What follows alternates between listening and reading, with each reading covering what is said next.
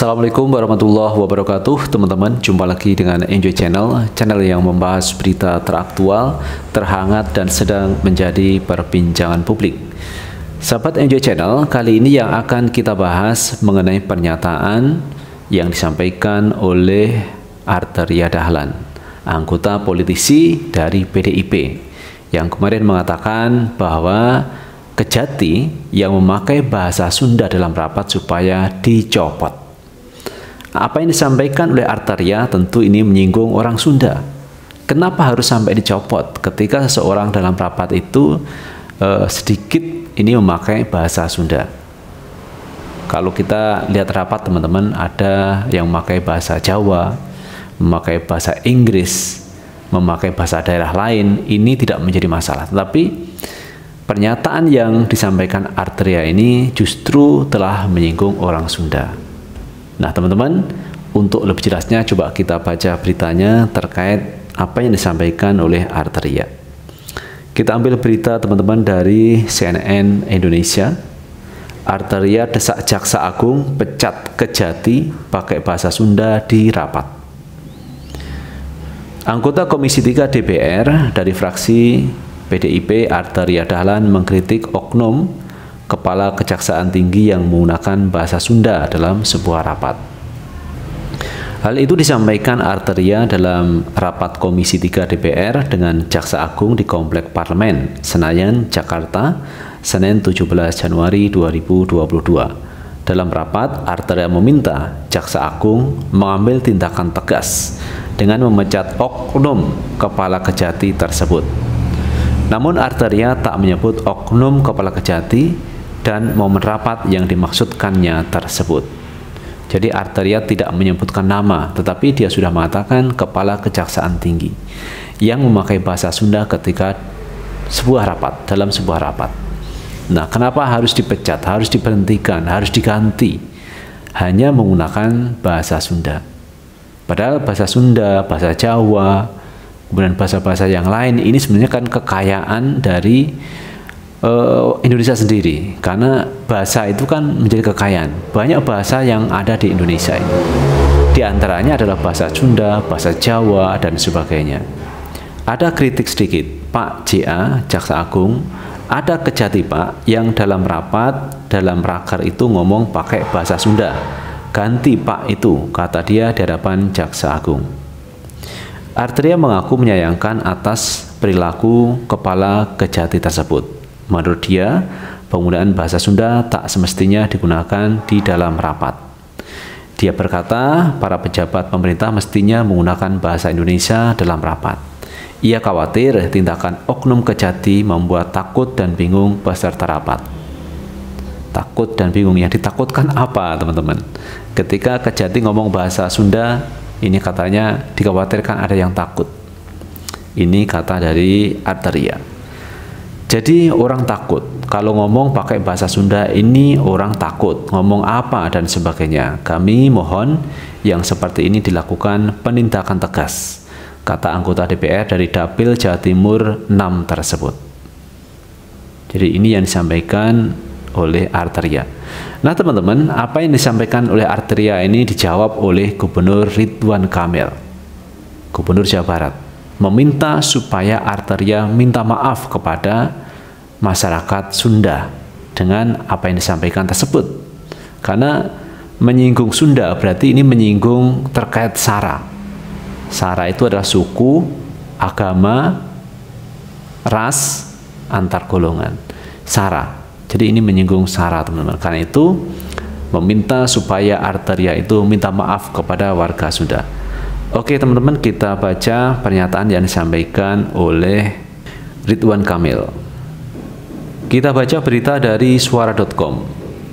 Reaksi Ridwan Kamil soal ucapan Arteria Dahlan segera minta maaf ke warga Sunda. Gubernur Jawa Barat M. Ridwan Kamil menghimbau Arteria Dahlan agar segera meminta maaf kepada masyarakat Sunda yang, ber yang berada di berbagai daerah di Nusantara. Jadi saya menghimbau Pak Arteria Dahlan sebaiknya minta maaf ya kepada masyarakat Sunda di Nusantara ini. Tapi kalau tidak dilakukan pasti akan bereskalasi. Karena sebenarnya orang Sunda itu pemaaf ya. Jadi saya berharap itu dilakukan. Ujar Ridwan Kamil dalam siaran pers yang diterima di Bandung Rabu 19 Januari 2022 itu reaksi dari Gubernur Jawa Barat Ridwan Kamil supaya Arteria itu minta maaf kepada warga Sunda Ridwan Kamil menilai pernyataan yang dilontarkan anggota DPR melukai kebinekaan NKRI. Maka dari itu, ia mengingatkan Arteria Dahlan dengan cara baik-baik karena sejatinya orang Sunda itu memiliki sifat silih asih, silih asah, silih asuh. Menurut saya, kekayaan, keberagaman, makanya Pancasila Bhinneka Tunggal Ika itu mewakili semangat itu.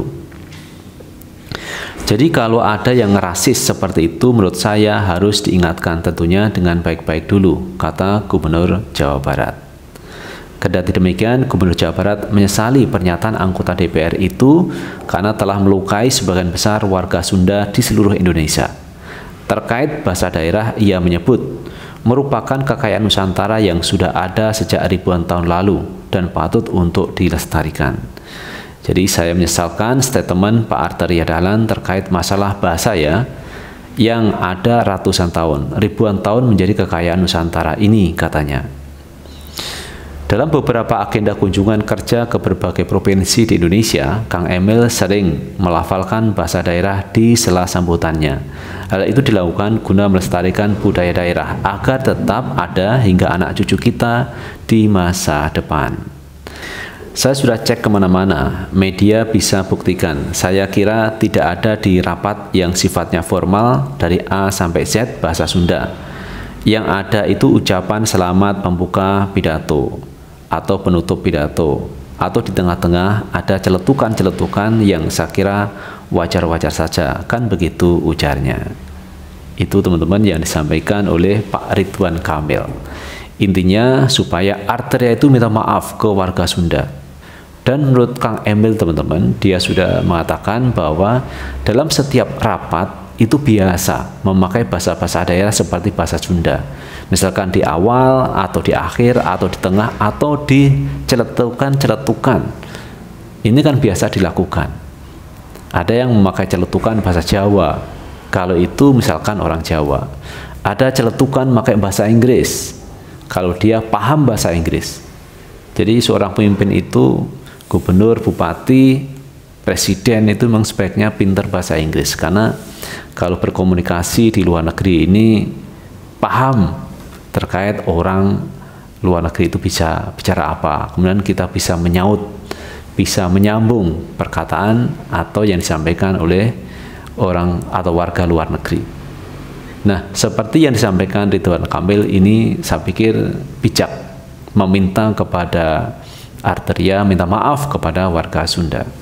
Karena kalau kita melihat teman-teman tidak sesekali ini eh, kader PDIP itu eh, menyinggung eh, daerah lain. Seperti kemarin Megawati pernah mengatakan Sumbar tidak seperti yang dulu.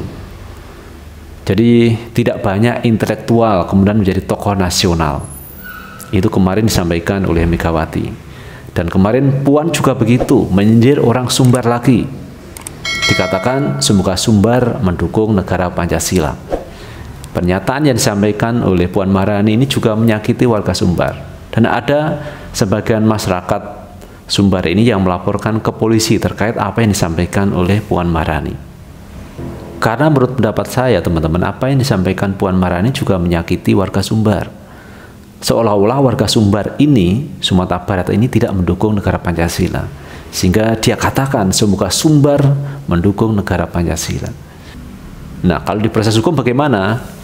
Ya, selama ini kita melihat seperti itu proses hukum. Ada yang jalan, ada yang tidak jalan.